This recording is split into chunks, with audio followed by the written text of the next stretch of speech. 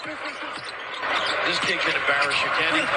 Pretty much equal minutes, and they come up big. Pretty much equal minutes, and they come up big. Here's Mitchell again. Bring him. Game two. Now they got to attack the rim. There's no deterrent at the rim defensively. Deterrent at the rim defensively. Mitchell.